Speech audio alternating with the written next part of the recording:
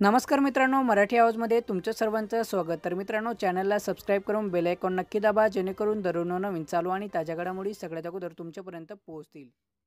तर मित्रांनो सर्वांसाठी अत्यंत महत्त्वाची बातमी आहे. तर मित्रांनो भारतीय हवामान विभागाच्या अहवालानुसार नुकतीच मोठी बातमी समोर आली आहे. ती म्हणजे यंदा मान्सून लांबण्याचा अंदाज व्यक्त करण्यात आला असून पाऊस यंदा एक जूनऐवजी पाच जूनला केरळमध्ये दाखल होईल असा अंदाज व्यक्त करण्यात आला असला तरीसुद्धा इकडे महाराष्ट्रामध्ये ठिकठिकाणी वळवाचा पाऊस हा बरसत आहे.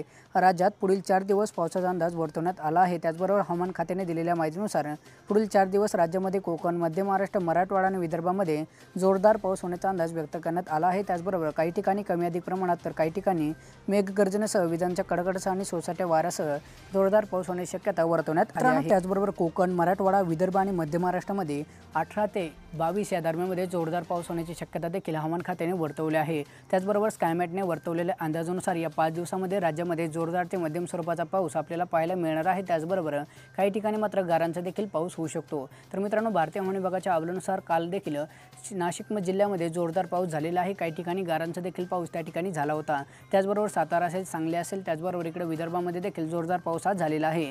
तर मित्रांनो भारतीय हवामान विभागाच्या अहवालानुसार अंदाज हा नव्वद टक्के खरा ठरत असताना आपल्याला समोर आला आहे. तर मित्रांनो त्यामुळे आता भारतीय हवामान खातं देखील आणखीन सशक्त झाल्याचं दिसून आलं आहे. तर मित्रांनो हवामान विभागाच्या माहितीनुसार आम्ही तुमच्यापर्यंत माहिती पोहोचण्याचा प्रयत्न केला आहे.